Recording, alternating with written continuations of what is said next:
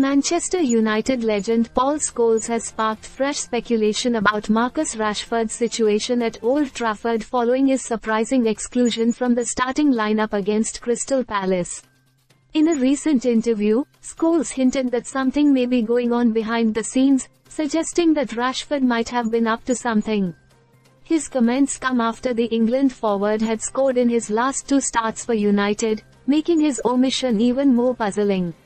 The decision by Erik Ten Hag to leave Rashford out has raised eyebrows, and Scholes wasn't shy about voicing his concerns. The former United midfielder's reaction felt like more than just confusion over a tactical decision. It almost hinted at possible internal issues between Rashford and the coaching staff. When a player of Rashford's caliber, especially after delivering solid performances, suddenly finds himself benched, it naturally invites speculation. Scholes' use of the phrase up to something suggests that this might not just be a one-off managerial choice, but possibly a deeper issue within the club, be it attitude or off-field distractions.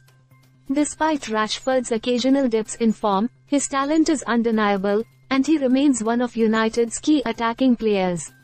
Fans have come to expect his name in the starting 11, particularly after notable performances. Scholes' reaction taps into what many supporters have been thinking, why drop a player who has been delivering goals and could provide the firepower the team needs? It's possible Ten Hag is trying to send a message or manage squad dynamics, but the mystery remains.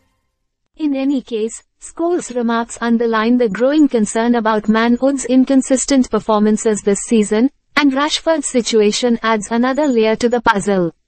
Whether it's simply a case of squad rotation or something more behind the scenes, Scholes' comments have added fuel to the fire surrounding Ten Hag's latest selection choices. United fans will be keeping a close eye on Rashford's future appearances to see if any further developments unfold. Stay subscribed for more videos.